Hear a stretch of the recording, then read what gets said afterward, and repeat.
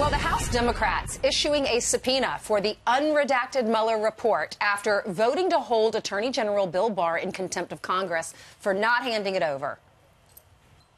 This administration, this president will not sully the Constitution. The president now seeks to take a wrecking ball through the Constitution. This is one of the most serious, if not the most serious, constitutional moment that we have faced. The President of the United States is a wannabe dictator with authoritarian tendencies. We are now in a constitutional crisis. Okay, that's what he says. So, what happens next? Let's talk to Fox News senior judicial analyst and host of Liberty File on Fox Nation, Judge Napolitano. Judge, uh, you know, they were asking for the unredacted version of Right. the Mueller report. By law, that cannot be released to Congress. That,